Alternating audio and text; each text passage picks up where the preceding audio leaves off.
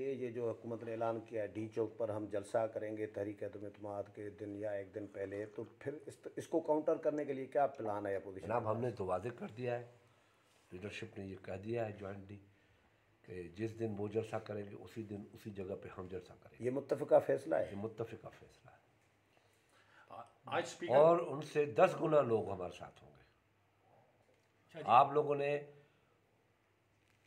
इस जमात के जलसे देखे कंटेनर दिखाते थे, नीचे लोग नहीं होते थे। उसमें तो मीडिया उनसे ताउन कर रही थी।